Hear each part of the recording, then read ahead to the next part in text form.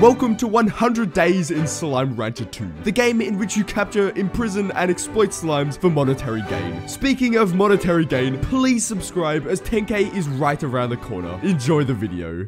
On day one, I arrived on Rainbow Island, and after imprisoning some slimes in a cage, I headed out to explore. I grabbed some pink slimes, carrots, and even came across some cotton slimes, which after filling my backpack, brought home and placed in a new corral. I fed them, then sold a bunch of plorts before noticing a cave in the distance. Sadly, it was blocked off with a price tag of 1800 new bucks? Sure. So after appreciating the view, I set myself the goal to unlock that cave. But I didn't have any food, so I bought a garden, which I needed food to start, so I headed out once again to explore. I found some carrots and also a strange robotic bee, which told me lore. I didn't ask. But seeing as night was falling, I returned to my home, started a carrot farm, bought a plort collector for my corral, and headed to bed. The following morning, I admired the subtle glow effect before noticing my slimes were looking a bit hungry, so I set off on an adventure to gather some food. But I got instantly distracted when I found a ship, and when I got on, I slipped off into the water and awoke several hours later in my home. My slimes were looking incredibly hungry now, so I went out again looking for carrots. I grabbed a bunch before spotting a massive glowing slime in the cave, and looking over it, I could see a really cool area behind. I presumed that I needed to feed it to get past, but I didn't have enough, so I left. On my way home, I came across some black slimes, which damaged me, so I ran away. At home, I fed my slimes a bunch and upgraded my corral before finding an underground area. There, I found a slime who hadn't paid rent, so I evicted it before checking out some cool upgrades I needed to get in the future. And when I emerged from my cave, it was morning. So I guess it's day three now. I started by feeding the Gordo some food and finding a strange object that I needed an upgrade to harvest before running into a cat, which I picked up. I returned to my home where I fed my slime, sold some plorts, and decided to feed my cotton slime a tabby slime plort, which made a really cool cross hybrid. After going on a short adventure, I returned and sold some more plorts before spending my funds on upgrading my farm. That night, I found a really strange slime that disappeared. I was very confused. But when I was feeding the Gordo the last of my food, it exploded, revealing a really cool area with a strange door on the other side. Not sure what to do, I returned home as the sun rose. When I returned on day 4, I fed my tabby slimes, then spent some money creating and upgrading a corral for my phosphor slimes. Now that I had two solid income sources, I decided not to spend any more money until I unlocked the cave. So I headed out in search of food and plorts. I got a huge amount of food and money and was returning home when disaster struck. I jumped off the side of a cliff, losing everything in my inventory. I spent the rest of the day frantically searching for fruit and finally feeding my slimes by sunrise. I harvested and sold a bunch of the next morning before realizing that I had over 2500 bucks. So I quickly set up a small fruit farm and headed over to the cave. After buying it, I discovered a whole new extension to my base, which was really nice. But I didn't really need it, so I did some epic parkour, talked to another bee, and once again fell off a cliff. I wasn't very pleased. I spent the rest of the day feeding my slimes before heading down to my basement, where I made the purchase of an upgrade for my gun thing, which could now pick up resources in the world. I tended to my slimes, then headed out into the world to pick up some random resources and feed a cotton slime Gordo, which exploded, revealing a really cool little cave. I picked up a strange diamond, then activated a random orb, which made the whole screen shake, then nothing happened. A little confused, I left, deposited my resources, then decided what my next goal would be, to get a jetpack. But I needed radiant ore, which I didn't know how to get. I went outside looking for radiant ore when I came across a massive glowing pillar, and heading towards it, I was transported to a really cool area, and a spot that I could access if I had a jetpack.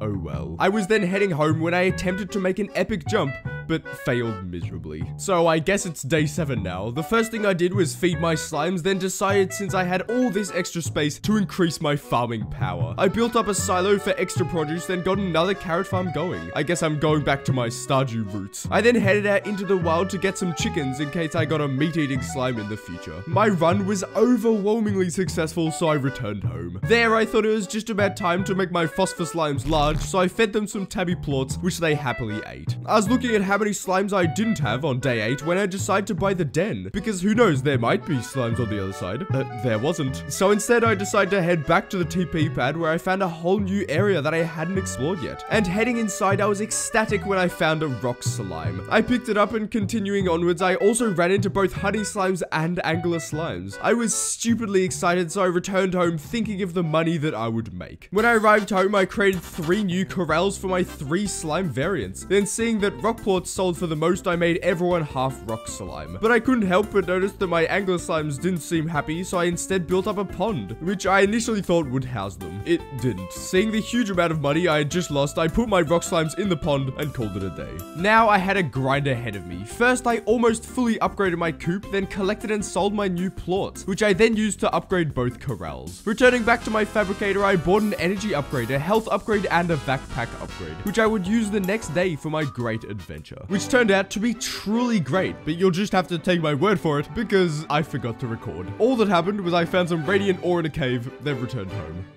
So, to make up for it on day 12, after feeding my slimes, I headed off onto another great adventure. Soon enough, I came across a door that needed a honey plort to open, but my only honey slime turned into a tar right in front of me, so I set off to find another. On my adventures, I found a hunter plort, which was great, but when I eventually found some honey slimes, they were surrounded by angry rock slimes and tar, which kept spreading until I could turn around, and every single slime was a tar. It was genuinely terrifying. I managed to escape and finally got the door open. I was surprised as it looked very similar to the cave I found yesterday, but I was even more surprised when I realized it was literally the same cave. I returned, slightly annoyed. I spent the entire first half of the next day selling all of my plorts, and after I was done with that, I had a stupid amount of money. Deciding to spend it, I first built an incinerator, just curious of what it did. O okay. I then bought access to the third new addition to my base, which I would probably never use. Upon returning, I quadrupled my storage space and did some sorting before heading out with the goal of getting a new fruit for me to farm. I eventually found a mint mango, so I ran back to base and put it in my farm. I harvested it the next day, then fed my mangoes to my slimes. I was then looking at the plort stock market and realized everything was super down, so I decided to just put my plorts in storage until the prices went up. I then headed off to get some rock slimes, as I needed to use my hunter plorts to get some hunter slimes. On my way back, I encountered so many tar that when I arrived after setting up a home for my hunter slimes, I decided I wanted to invest in an upgrade to my backpack that allowed me to hold water and therefore take care of tar. Unfortunately, I didn't have any puddle plorts, so I couldn't make one.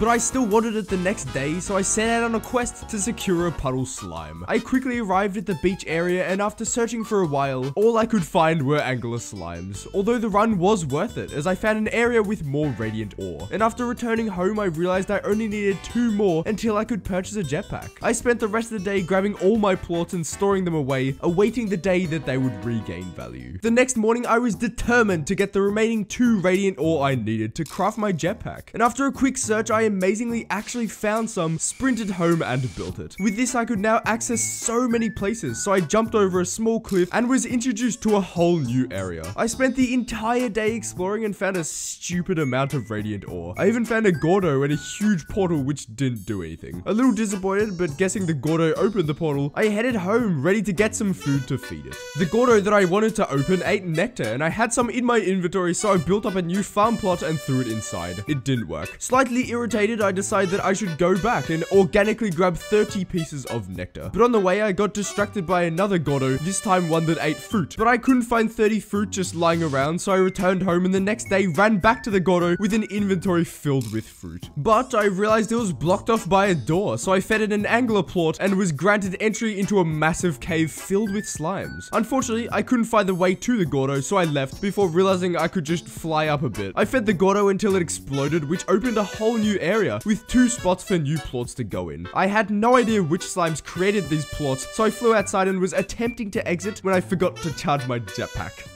I was feeding my slimes the following day when I realized the storages were full, so I spent some hours selling my plorts. I had around 11,000 new bucks by the time I headed out with the goal of getting some plorts to open the mysterious gates before. I made it to the Flutter Gordo and sure that the Flutter slimes that I needed the plorts of would spawn there, I just waited. In fact, I waited all the way past midnight when I decided it wasn't worth my time and returned home. But I regained confidence the following day and returned to the area, this time finally coming across the Flutter slimes that I had been waiting for. I then found a giant hole, so I definitely on purpose fell down right onto a Gordo. I managed to escape and decide to go over to the Flutter Gordo, but I found some puddle slimes in the water. I was a little teeny bit excited. But I got even more hyped when I randomly threw a raccoon statue off a cliff, then noticed it had become a ringtail slime. Picking it up, I also found a ringtail Gordo blocking a massive door, but I had no food, so I headed home instead. The next morning, after placing my puddle slimes in my pond, I decided to evict my tabby slimes and instead move in my new ones. Unfortunately, my ringtail slimes had turned into stones. Oh well. Since I needed to wait until they became normal again to breed them with my flutter slimes, I decided to head outside to grab some jellystone, which back at base I used to upgrade my vac pack. I then spent some time breeding my slimes, excited about the money that they would provide. I collected my puddle plorts on day 22, then noticed my ringtail slimes were all stone statues, which was genuinely terrifying. I thought that maybe a solar shield would help, and surprisingly it did, freeing my slimes. I then grabbed some puddle plorts and returned to my fabricator, where I was finally able to craft my water upgrade for my vac tank. I was then attempting to suck water from a little pond in a cave when I got a little too cocky and fell right in.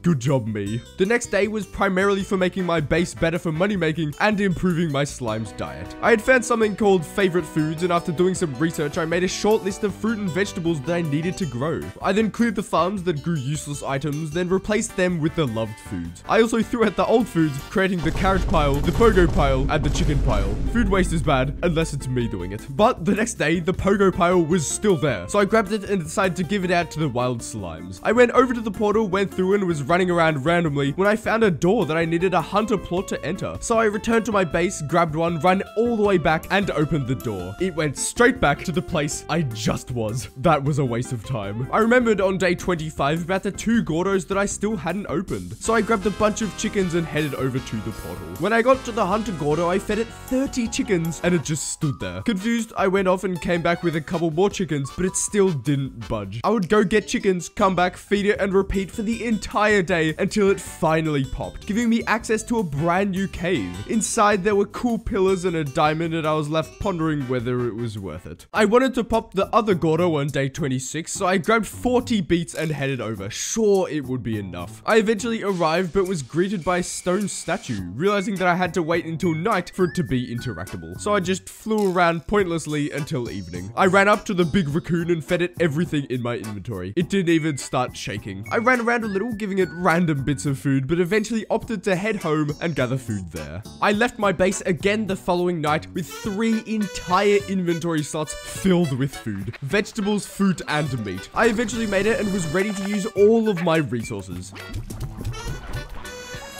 That's fine. I'm not angry. the Gordo uncovered a new portal, surely to a new awesome area with new slimes and unique items. It just brought me back to the main island.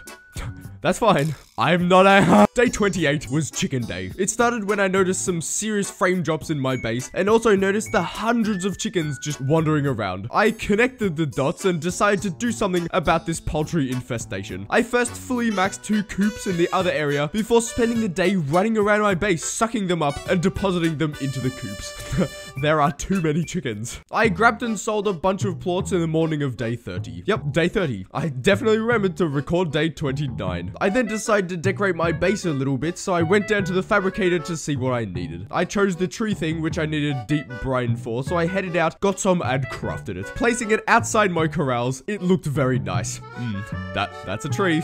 I decided that I'd been waiting around for far too long. Today was the day I would get rid of the Flutter Gordo, so I headed over and on arrival, did some searching for nectar, but didn't find a single piece in the entire day. And the next day, and the next, and the next, and the next, next, next, next. And finally on day 40, I was stood in front of the giant Gordo with more than 30 Moondew nectar in my inventory. I started feeding it and it ate six. I'm not angry. The Gordo uncovered a massive cave, which amazingly had a brand new fruit, the pomegranate. I also lowered the pillars I had found a while ago. Incredibly happy with the progress I had made, I left. I fed my slimes on day 41, then since my inventory still had some random things in it and my other storage was full, I bought a new addition to my farm and headed there. When I arrived, I built up a maxed storage and put my things away before deciding to climb a mountain. I got to the very top and seeing an island in the distance, I flew over before realizing that I was fully stranded. I tried my best to make it over, but I inevitably failed. Heading down to the lab the following morning, I found that to craft a jump pad, I basically only needed wild honey. So I headed over to the other island and started searching the trees. I got some, but then only ever found beeswax hives, which was really frustrating. But the next day I had more luck, and before long I had spotted the honey that I needed. So I precautiously flew over and collected it. Heading home, I placed them in my fabricator, went out and got some cotton plorts, deposited them, and finally crafted a jump pad. Placing it down, I hopped on.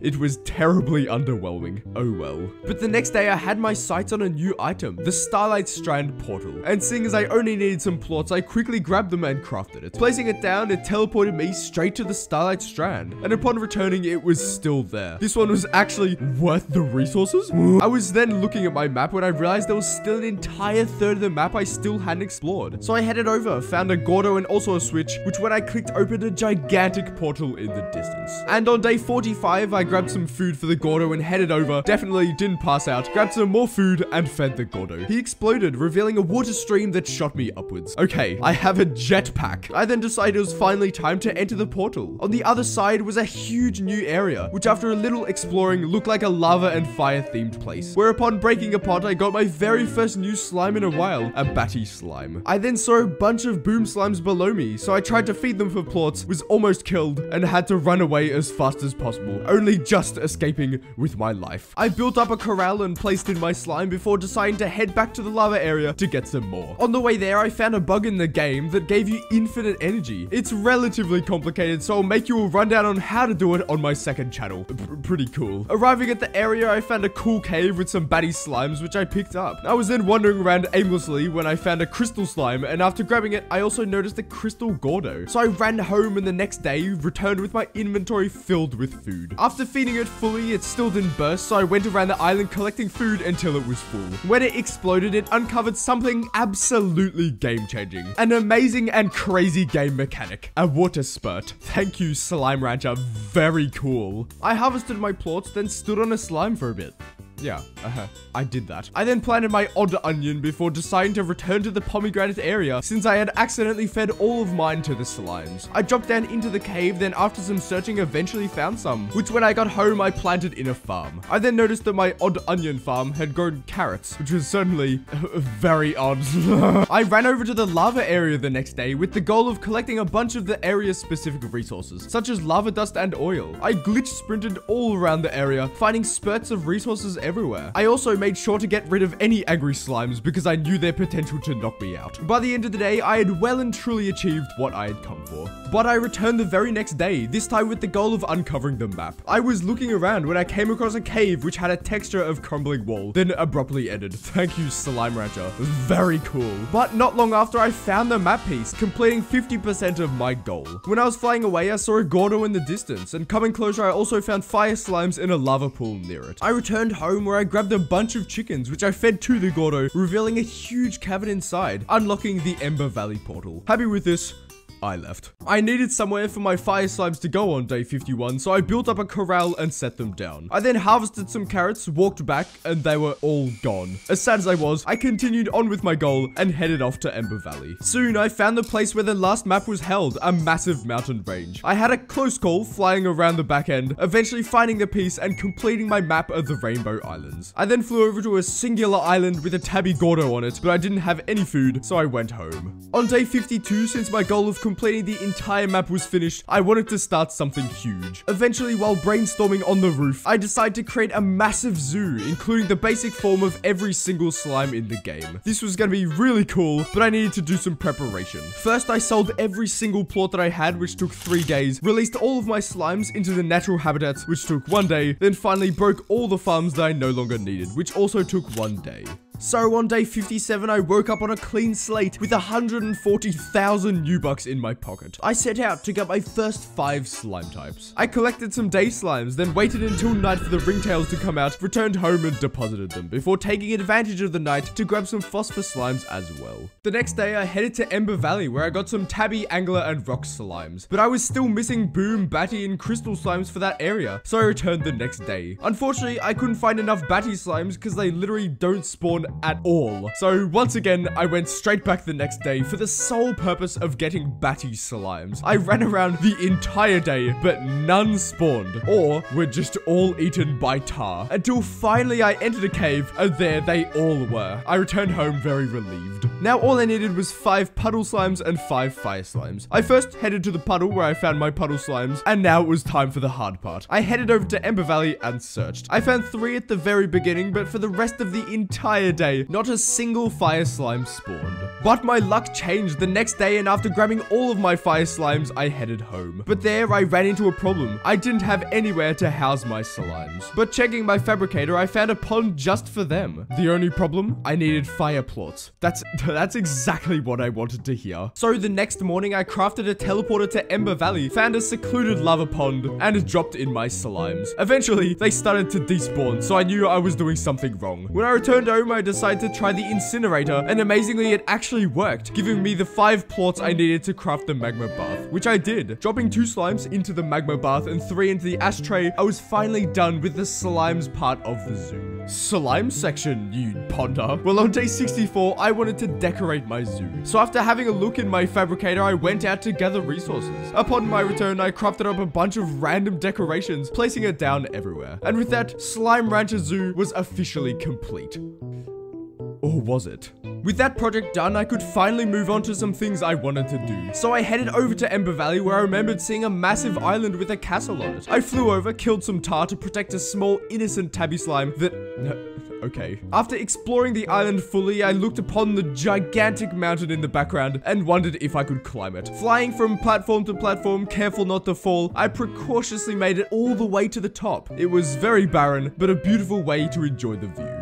Heading down to my fabricator, I decided that my next big project would be maxing out my player. I got started by collecting some boom plorts and upgrading my boot's energy consumption, which on hindsight is sort of useless, seeing as I could run forever anyway. I then set my sights on an energy storage upgrade so I could fly for a longer time. Unfortunately, I didn't have any oil, so I headed over to Ember Valley just to only find lava dust and radiant ore. I was sure this game was against me. But I had better luck on day 67, returning just after midday with 11 oil. I guess I just wasn't looking in the right places. Noticing that I still needed jellystone and cotton plorts, I headed out to collect both of these resources, struggling a little on the jellystone front. I continued this search the next day, stumbling across stupid amounts of deep brine, but eventually finding the last of the jellystone I needed, in a really cool circular cave that I had never seen before. Upon my return to the base, I crafted out my energy container, giving me 200 energy in total. I was feeding my slimes the next morning when I realized my flutter slimes were out of food, so I waited until nightfall then went to the area where nectar spawned. I ran around collecting Moondew nectar, wild honey, and beeswax until I got curious about the massive portal right in front of me. Unfortunately, I still couldn't go in, but I presumed it would be important in a following update. When the sun rose, I headed back home and finally fed my slimes. Continuing on my objective to complete the player upgrades, I set my sights on the pulse wave, so I grabbed both materials that I needed and crafted it up. Basically, what this upgrade does is push slimes around, so that's pretty cool. On a different note, I die a lot, and for that reason, I wanted to get myself the tank guard, which saved some of my resources upon my demise. But I needed crystal plorts, and I might have forgotten to feed my slimes. So I threw them a bunch of food and built my upgrade. I then stupidly decided to try it out by leaping off a cliff. I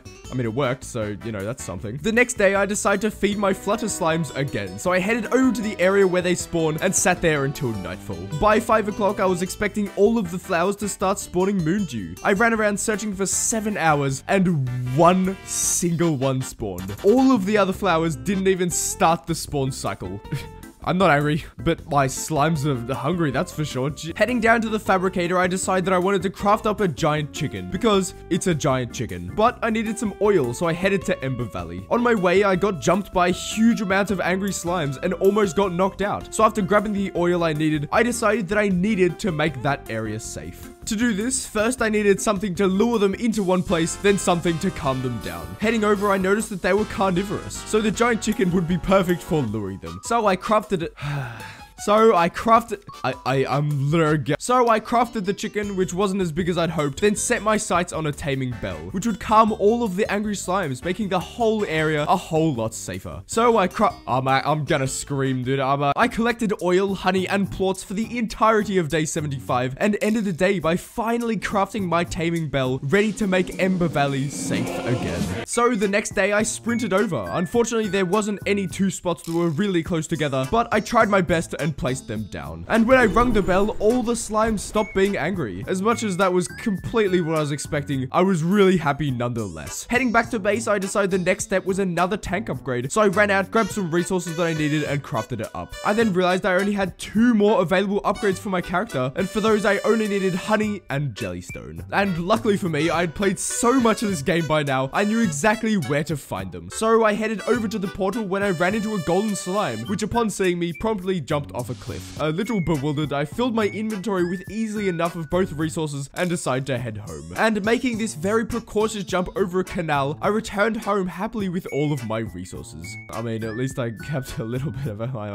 So I obviously set out once again on day 78, off to find jellystone and honey. And surprisingly enough, I was really lucky in finding a bunch of jellystone spawns, as well as an area filled with honey that I'd never seen before. With my resources secured, I made my massive jump, returned to base and crafted my health upgrade before collecting some plorts and upgrading my boots. I could now run for a really long time. That was a complete waste. You know what else is a waste of time? Playing an entire day, then realizing you forgot to record.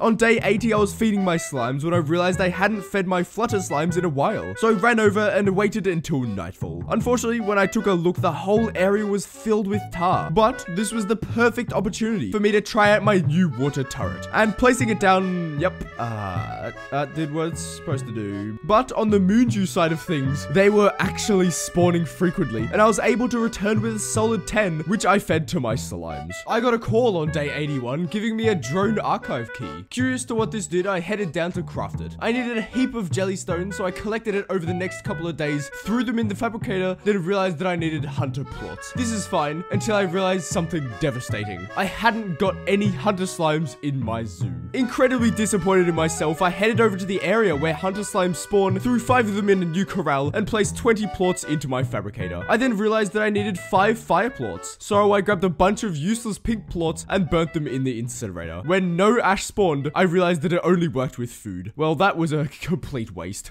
Ignoring what had just happened, I grabbed a bunch of food and burnt it all, feeding my fire slimes. I collected up all the plorts, threw them in, and crafted my new drone archive key. Now, very interested in the use of this item, I ran up to a drone and clicked X, revealing another small paragraph of lore. This was kind of interesting, so I spent the day running around looking for drones. It got strange best. On day 85, I decided to make an addition to my zoo and also showcase all the fruit and vegetables in the game. So I built up a bunch of new farm plots and planted them all. I needed to move my chickens, so I sucked them all up and placed them in one coop, before realizing that I could also collect all the meat in the game. I ran over to the beach, grabbed a single sea hen, and placed it in a new coop. I'm sure it's very happy. I was loading my game the next morning when I realized I was 77 out of 81 Slimepedia entries. So I entered the game and identified that I needed to find a bunch of chickens, which tied perfectly with my previous goal. So I headed to Ember Valley, calmed a bunch of slimes, and found a Briar Chickadoo, crossing off one of the entries. I also made a new coop for my Briar chickens to stay. On day 87, I wanted to get a sea hen chick, so I teleported over. Wandering towards the beach, I saw a drone on a giant mushroom that talked about making pizzas? What? So I jumped off a cliff completely on purpose. But I was back on the grind the next day, heading over, grabbing some beeswax, and walking to the beach. I found a whole bunch of sea hens and added sea chick to my Slimepedia. With a whole bunch of chickens in my inventory, ready to start a new life at my farm, I headed through a cave where I found a meat-eating Gordo.